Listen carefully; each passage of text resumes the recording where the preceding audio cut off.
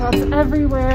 There's a lot of rules, and this has been going on for three months. On our shocking quarantine here in Valparaiso, Chile. Either closed or you can't get in. Hola. He sends for all of this. Hello, por favor. Nobody here in this plaza. Chilean style wall. Incan walls here in Cusco.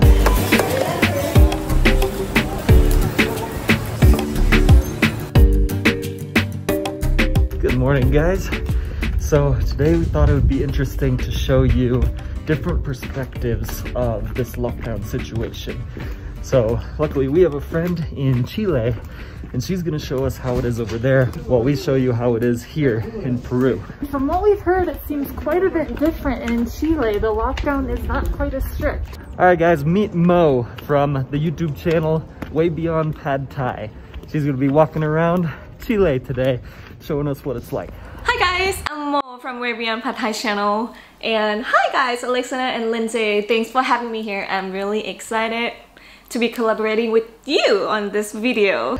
So Mo, we're curious, how did you end up in Chile and what's your coronavirus story? So I was traveling in Peru for two months, planning to go to Brazil just actually just right before this pandemic happened. And then the transfer flight is here in Chile. So I stopped by here a little bit and thought I was gonna be here like 10 days just to check things out. Not even a week when I was here, Chile was going to already close their border and things started to get really serious.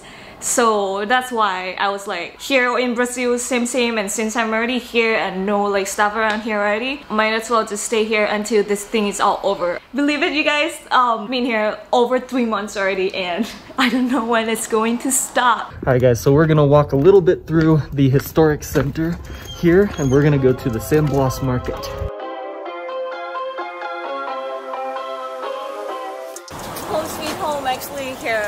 Been here already like two months or something. Uh, walking outside here, like because here we're not getting to the market yet, so we don't actually need this. Actually, show me what you guys got over there close to your um to your place that you're staying. Yeah, so we just left the house about uh, two minutes ago, so this is pretty close to where we're staying. And look, we have some Inca walls over here. Everything is closed and there's no people.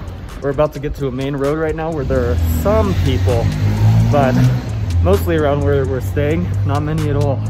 Look at this, one of the main roads here in the historic center. Nobody here in this plaza. It's just us and our dog. So we're curious, what's the lockdown like over there? Walking like two three minutes. That that's the first shop, like the closest shop to the house. We're getting there. I'm gonna show you such um a shocking lockdown or shocking quarantine here in Valparaiso, Chile because I don't even feel like it's quarantine anything anymore. It's just like a normal day where people just wear masks. That's it. This is like Chilean style wall. Like all the wall, all the doors, everything in the city look like this. Here in Santiago, I'm not quite sure like other parts because I've been just in two cities. Now, you guys show me your Inca walls. Yeah, we'll show you one of the best Incan walls here in Cusco. Coming right up. Luckily, here we're very close to a bunch of Inca walls, but this one has the 12 angled stone, which is a masterpiece of architecture. Very well known in Cusco. And usually down this road, it would be packed with people to see this stone. But we're the only ones down here. Look at this, look behind us, nobody. All right, where is it? It's somewhere over here. So this is the 12 angled stone. Amazing how they fit all of these stones perfectly together. They say you can't even fit a slip of paper through here. They didn't have any mortar. We don't know how the Incas put this together way back when. So that's our Incan wall right here. And the rest of it. They are everywhere. So there's just so much history in this city. So what's it like over there? ready? Are you guys ready? Because this is how it looks like of the lockdown of quarantine here in Chile. First vegetable shop right here. Now we're gonna walk through. Bus stop. Well, I'm actually surprised right now because it's usually like way busier than this. Not a busy day at all here. Hand roll, they sell it everywhere in like Santiago and here. It's so popular. And I'm actually gonna get one. Hand roll, por favor? Sí, por favor. Yeah. Let's do some street food over here. Do you guys actually have like some street food selling at the moment right now?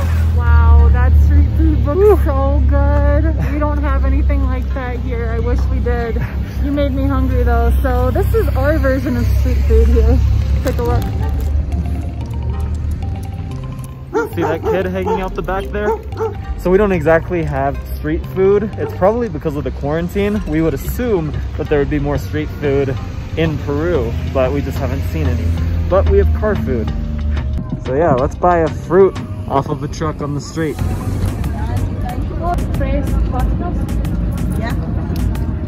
This truck smells so good. You can smell all the citrus from the oranges, pomelo, pineapple.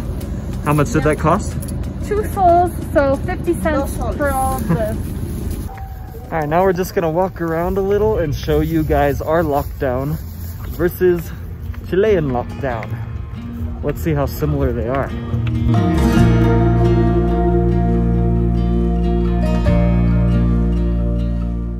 So our lockdown experience has been extremely strict. Every time we go out, there's cops everywhere. There's not that many people out. There's a lot of rules, and this has been going on for three months. Luckily, things are getting better, which is why you'll see people out now. But for the first two months of our lockdown, there was nobody. Nobody out, almost ever. So now where we're at is restaurants are finally starting to open. Peru has four different phases. And right now we're in the second phase of reopening. Street food again. Lamb, lamb, lamb, lamb, lamb. So many stalls. And actually, yeah, I think we're getting into like uh, the busy part. If you guys have some part of the city that is actually like busy like this, So this road, this alleyway, we used to go down it all the time in the last month. And we haven't for a couple of weeks. But there used to be nobody whenever we passed through here. Nobody. And now we just crossed probably 30 people in a minute or two. And a lot of these stores are either closed or you can't get in because of things like this.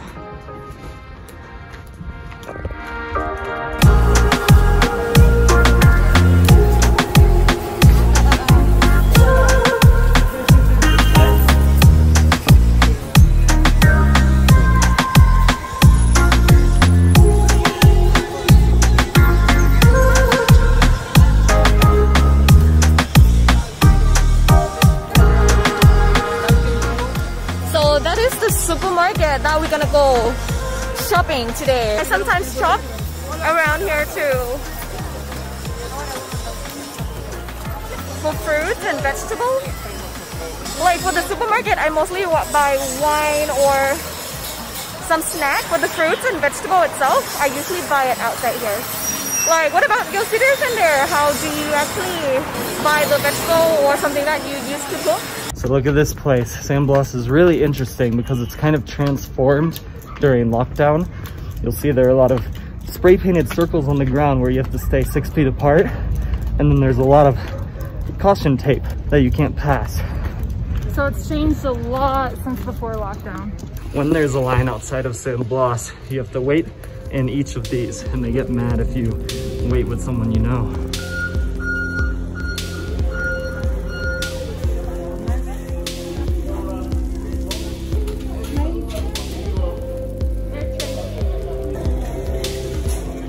All right guys, so that place was closing. We just wanted to show you guys some of it really quick, but it looks like we're gonna have to go to another store. So pretty much we have to wait in line a little bit. Sometimes we have to wait for like 20, 30 minutes. Dos por mil, dos por mil, dos por mil, dos por mil. Por Hola. Gracias. So we don't really have one place that we go to. So right now we're actually in a store that we've never been in before. We like to mix it up. so it's not a huge store like the supermarket that you're at, but this will work for now. So let's look for some snacks. I found something right there. Damn, mote con huesillo. This is actually like Chilean Chilean. So you're gonna grab this. I've actually never seen this anywhere else. Have you guys seen this somewhere else? I'm not sure. I don't know if you have been in Chile before, but No, we've never seen anything like that before, but we have ice cream, Peruvian ice cream. What's that? No idea. The You wanna- Puma is very popular here. We are gonna try a Peruvian soda that we see all the time on the shelves and in these fridges. So we don't know quite what this is, but it's a Camu Camu flavor, Guarana. So we've been seeing this all over. We're gonna try this one out today. Guys, what's on your right of you? Like above? This one? Above? Uh, above? Yeah, that one. What is that? Yeah, maybe you should try that. So what is it? This is Besos de Moza. Don't know what these are, but again, we've seen them and want to try them. Good choice. Now let's go to like chips and snacks. I already know what I'm gonna be getting. So it's this thing. So everyone knows Cheetos and like uh, the cheese puff, but I'm sure that you have never seen this flavor before. It's like a puff, but not cheese puff. It's peanut puff, more like Chilean kind of. But that one was so good. Kind of gonna get this and try it. Do you guys actually have this in Peru? No, we don't have those, but we have these. Los Cuates Picantes. We're not sure if these are Peruvian, but piqueos. These are pretty, these chicharron pretty popular here. Honestly, it's so hard to breathe. Do you actually have the same problem wearing masks? Because Actually, yeah, especially Lindsay. She hates these masks. She takes hers off all the time. I feel like I'm suffocating in this thing. So we're gonna try to keep them on because we're in the store, but right when we get outside, we try to take them off. this one is exciting. So you see, oh, oh, we're done, you guys. So like for the price, got this and then three other things combined. Cost me actually like less than five thousand Chilean peso. So the total for all of those is 12 soles, which is about $3. So, do we walk out of the supermarket together? One, two, three. Yes. Let's go. All right, now we're heading home and we are gonna try some of the Peruvian snacks that we got. How are you guys doing over there? Are you excited to try all that that you got over there? I'm actually pretty excited with all this because I'm getting hungry. So we have a few snacks, candies, just Peruvian things to try, and then Mo has a few over there. So we're kind of gonna show you the difference between some of our Peruvian snacks versus her Chilean snacks. All right, Mo, we're gonna let you take it away and go first. All right, ready? Hand roll. First, when I got to Chile and when I um craving some sushi, and I got this, I was a little bit disappointed. But then at some point, I got addicted for a little bit. I've been eating this like for a week, every day straight because it's just non-stoppable. Deep fried with some like a bread crumbs, a little bit. So it's crispy outside and inside is soft. Let's see what they got inside there. The sushi sauce, which is like soy sauce, but not really. So not so sweet, salty mostly. This one, unagi. So it's a little bit like sweeter. Um, It's the one that they use with the unagi or the eel. If you guys actually getting hungry by watching this and you loving it, feel free to go over to my channel and see me eat.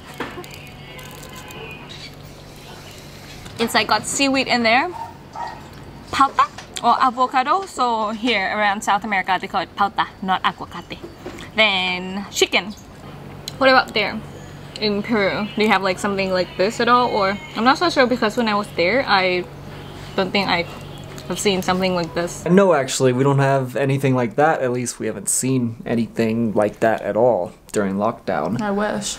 But we're gonna try something very different from that anyway. we're gonna try a pomelo, which isn't exactly Peruvian, but you find them in South America. And so we're gonna have this fruit first. And this was our street food item. So here it goes. All right, Alex is just peeling it right now. Not the easiest thing in the world to eat and peel. It's like peeling a basketball. It smells really good. Ooh. It smells like the mix between uh, lemon, orange, and grapefruit. What do you guys think? Smell that. Oh, isn't that good? Alright, we're gonna stop this camera for the next five minutes while I peel this. That is the inside of the pomelo. We're gonna take a little bit of that right there, some of those cells. Mmm, juicy. Oh yeah. It's good. It's a little bit bitter, but not as bitter as a pomegranate. It also has Pomegranate? a, oh. Grapefruit? So Mo, yours looks a lot better, but ours is healthier. So Alright, Mo, what are you gonna try next? Mote con huesillo. Totally Chilean. Dry peach um, in the syrup and with the husk wheat. And in Santiago, they're gonna have like this street stall where you can just go buy just like a really big cup for 800, 900 which is about like a dollar or a little bit over a dollar. It's been a while. I have had this iced up a little bit here and that the whole like um dehydrated peach then we got like husk wheat the liquid is like uh, sweet and a little bit sour from the peach taste. Then the husk wheat right here. Mm, and it's so refreshing. You guys are so lucky that when we're doing the video today when I was filming it was not so cold because it's been cold for like two or three days and then it's horrible you guys. But now the sun is out and then it's a little bit warm but I still need this. But at the same time it's actually like a good day to have some mote con hes- mote con huesillo. Mote is um this husk wheat. And huesillos is the peach. Or the other ways around. I don't know. Alright, next up in Peru, we're gonna try this soda here. What is it called? Guarana Backus Camu Camu flavor.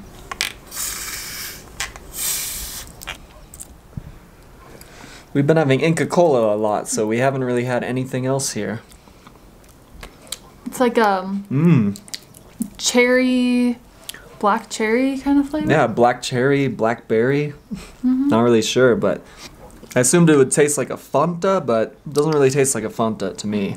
Yeah, it tastes more like a carbonated juice than a soda. All right, now on to your next item, Mo.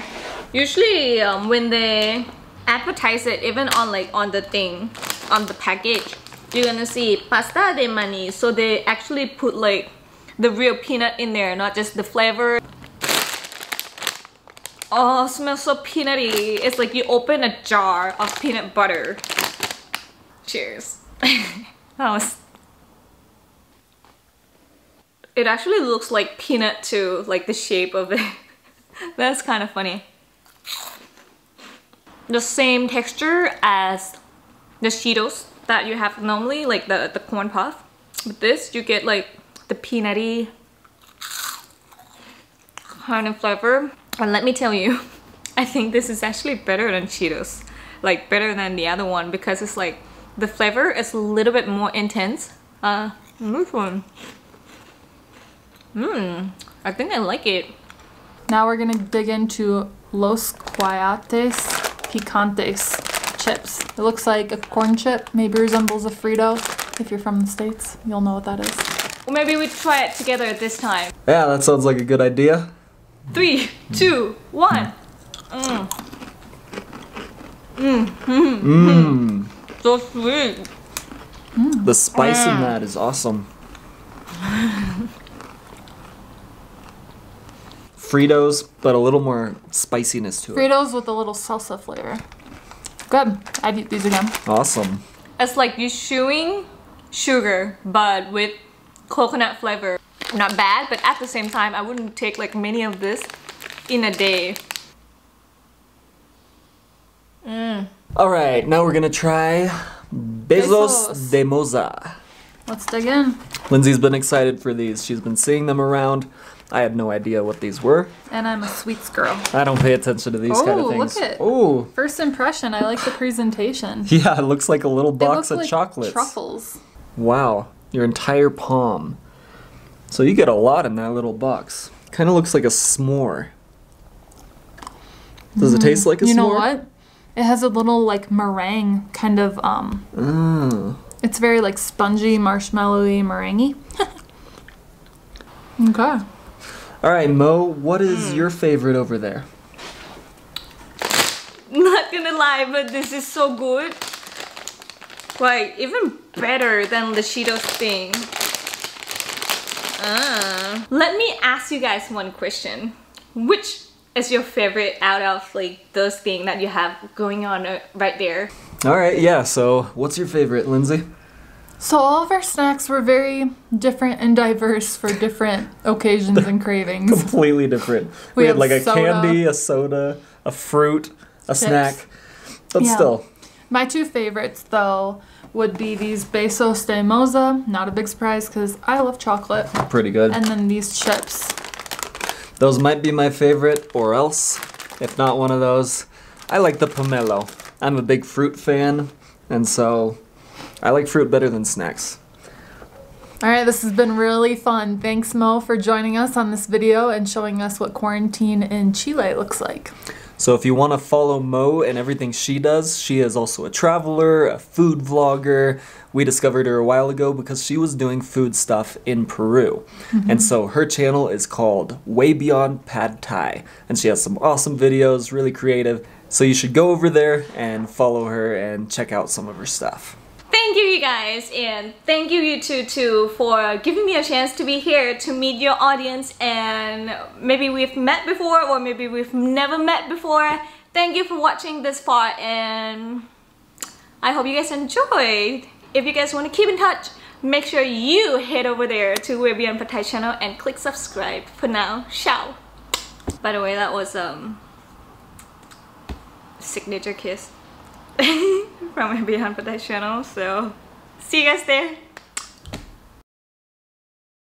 My name is Camilo. I'm from Colombia. Uh, I have a channel on YouTube uh, called Viajemos Más. It's a Spanish travel uh, content. Well, a couple days uh, we were gonna go to Europe.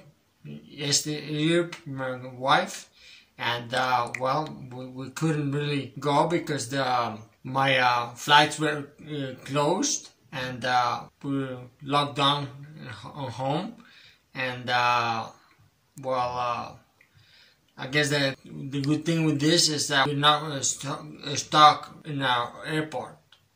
Yeah. Hey guys, we can only do so much on YouTube and we only put out a video every two or three days. So if you want more, if you want daily stuff, you should head to Instagram. Find us at Alexander Travel Bum. And that's where you'll find daily stories and photos about our travels.